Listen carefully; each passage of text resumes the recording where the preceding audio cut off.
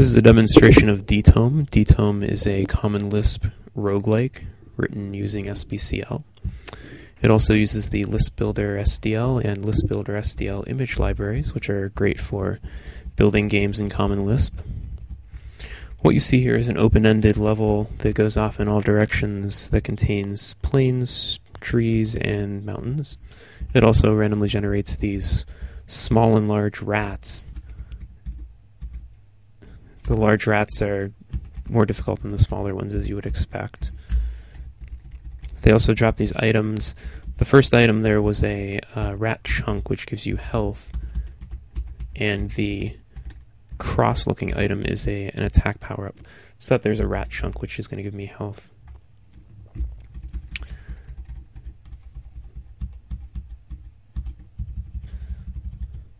So I'm going to intentionally die here. When I when I die, I'm going to restart in a predefined level. Actually, let me find a more difficult uh, large rat. Here's one, or here's two actually, this will be good. Okay. So this is the rat basement, as I call it, which is just a bunch of rats in this gray interior, which kind of resembles a basement. Although, now that I think about it, the rat dungeon might be a better name for this.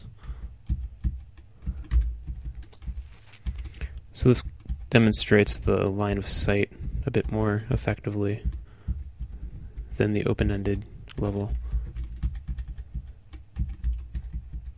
Ah, I died again. But that's the general idea. Thanks for watching.